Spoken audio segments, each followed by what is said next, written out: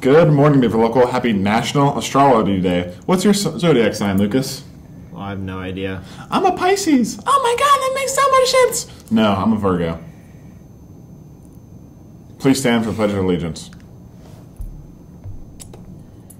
I pledge allegiance to the flag of the United States of America and to the republic for which it stands, one nation, under God, indivisible, with liberty and justice for all. We would like to thoroughly apologize for the announcements on Friday. Those responsible have been sacked. I apologize for mispronouncing the musical Les, Mi- Les Mis. Here's today's important information. Prom packets are now available to be picked up in the Media Center.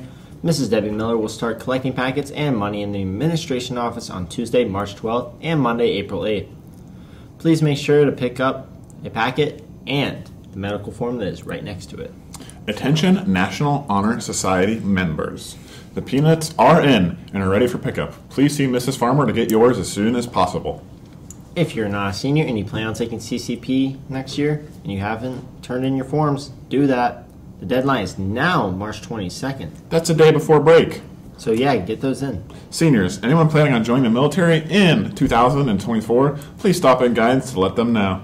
What's tweaking, Beaver Nation? Would you like to buy cool new apparel at a great price during A and B lunch? Mrs. Farmer's entrepreneurship and Mrs. Agnew's textile art classes are open with the new Beaver store.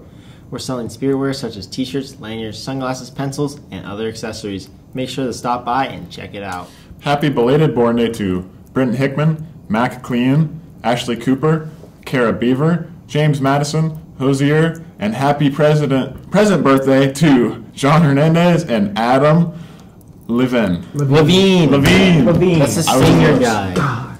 Today's lunch is crispy chicken nuggets with buttered noodles.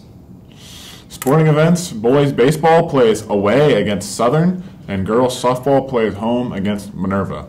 There's also a boys basketball banquet today at five. Today's weather is sunny with a high of 38. I'm tired of this cold weather. tired of it. And a low of 29. And now for the joke of the day. Butterfly. Yeah, if you throw it. Have a pretty day and go Beavers.